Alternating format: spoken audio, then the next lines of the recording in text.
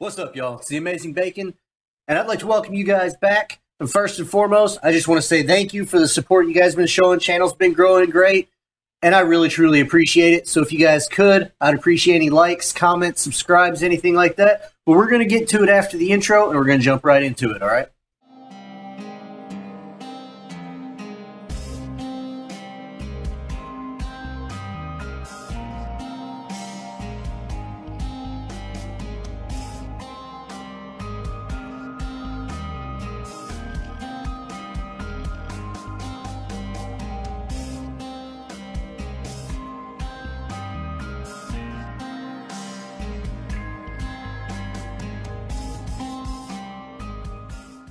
Welcome back, guys.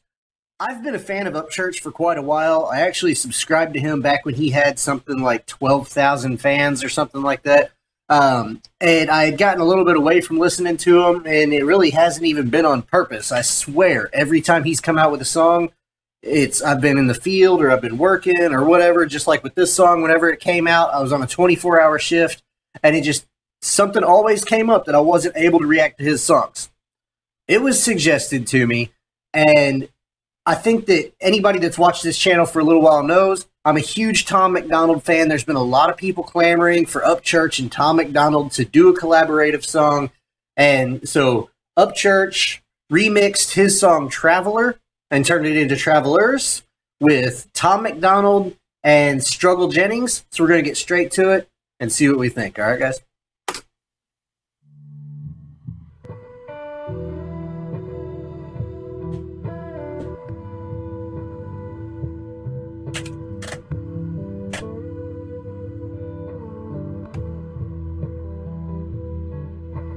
Traveling gypsy, tipsy off weed and raw whiskey, whistling the silence at night as the ghosts emerge from the thick weed, drifting in clothing they had when they left this world years ago. So they tiptoe in heaven, nervous cause they still ain't their norm. They seen the light but didn't travel, got stuck in the past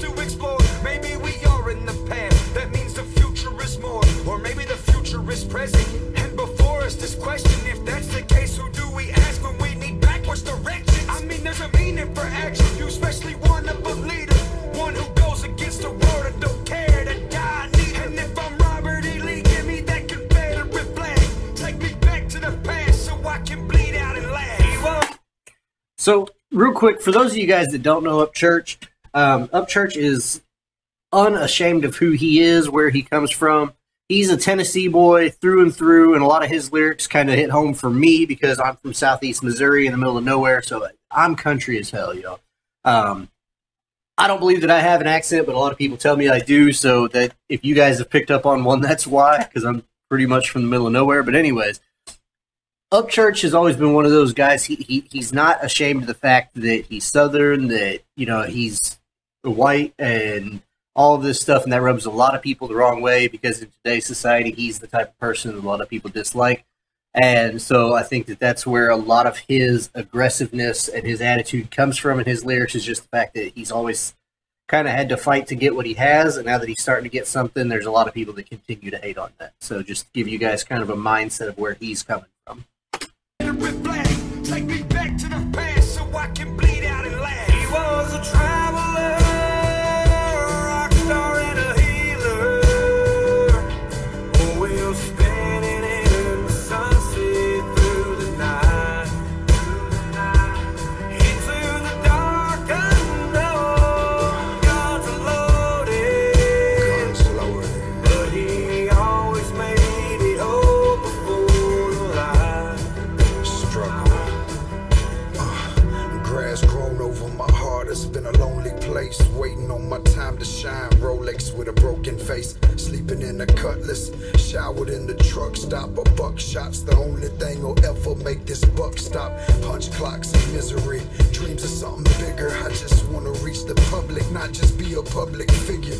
say that he failed. Train to success was derailed. Put my journey in a song. Inspire you with details. In the field searching for seashells. No ocean was in sight, but I saw it. Yeah, I think there's one good thing, and I know that this is Struggle Jennings singing here, but he said that he wants to reach the public, not just be a public figure. And that's one thing that I really do like about Upchurch is the fact that he feels like he speaks for the people, he speaks from the heart. And he does talk about kind of that lesser known demographic of people that you know. Honestly, let's be real here. You look at like city folk or whatever, and they want to look down on people from the country as being less smart, less educated, being stupid, and you know, inbred, and all this other stuff that I know that you guys have heard. You know exactly what I'm talking about, and he has put it out there that the struggles and all the issues that we face as rural people are very real and we're not just these stereotypes that people say because you know we're all human on the inside and i think that that's one good thing about it with the whole mindset of wanting to reach the public and not just be a public figure. Like anybody can be out there and be famous and stuff like that but it's whether you're doing it with conviction and whether you're actually reaching people that makes a difference on who you are as a human being. You know what i mean Train to success was derailed. Put my journey in a song, inspire you with details. In the field searching for seashells. No ocean was in sight, but I saw it in my heart and kept believing I was right. Fight for what's mine and what's not. I'll go and earn, blazing a trail through the south, trying not to get burned. He was a traveler,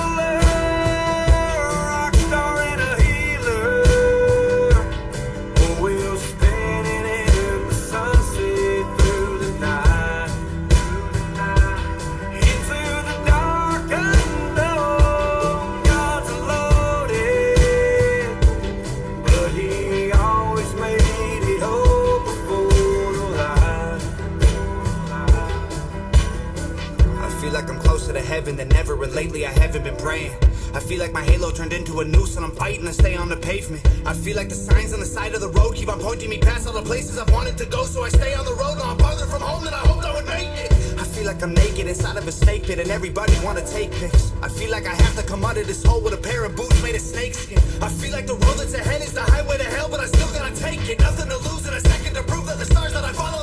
Me to greatness. I sunk all the skeletons, drunk on adrenaline, running and dumping the evidence. Discussing my demons with devils disguised as my friends and pretending they're better men. Collecting the feathers of vultures that patiently wait for a meal at my grave. Will tell my tale around campfires if you listen close. They'll say. He was a tra- collecting the feathers of vultures that wait to eat around my grave. I like that because, all right, so I'll get into it more at the end of the song, but I just think that it's awesome that guys like this can get together and make music together because they come from such drastically different backgrounds. Um, I'll be honest with you, I don't know anything about Struggle Jennings. I I've heard the name, but that's basically it.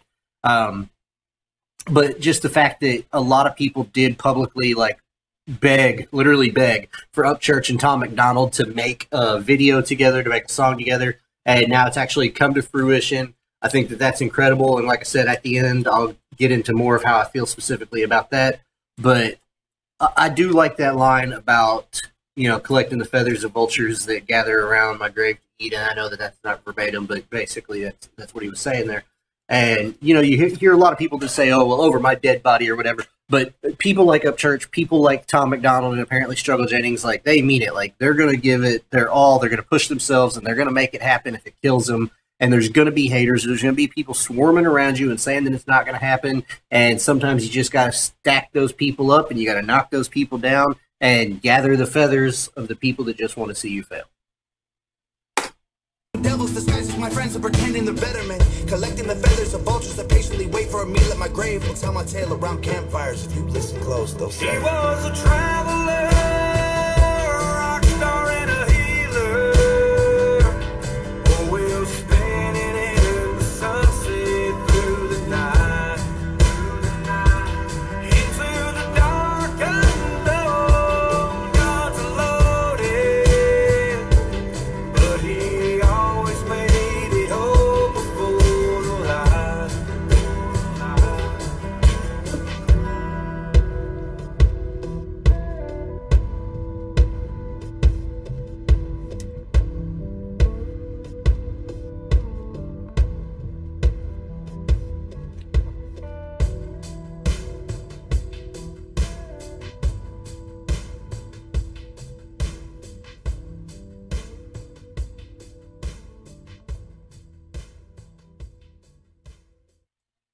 All right, guys. So to wrap up this whole video and to get back to what I was talking about earlier, I didn't know what to expect out of this song for the simple fact that yes, Upchurch, Tom MacDonald, they rap, and they have a very distinct sound, but they have two very, very different sounds.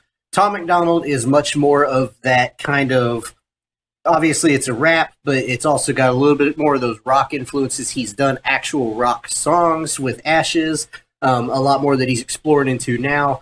But he also has a lot of that kind of juggalo, kind of twisted influence that comes from working with Nova. And so there's a whole different background of music there. Whereas Upchurch, he is one of the big, like, kind of purveyors of the hick hop movement. And for those of you guys that don't know what hick hop is, it's basically exactly what it sounds like. It's hip hop mixed with hick music, and it's taking music that sounds like something that you're going to hear out of a honky tonk, out of a bar, out in the middle of the country, and you're mixing it with rap sounds and influences. And so that's what I was getting at earlier. When you're talking about these guys coming together, Tom is Canadian, and I don't know where he's from, but obviously Canada to Tennessee is a long distance, anyways. So the fact that these guys were able to come together, whether it was you know through satellite communications or actually came together, I, have no idea. I would imagine at some point they're going to put out a music video and they're going to meet up together. But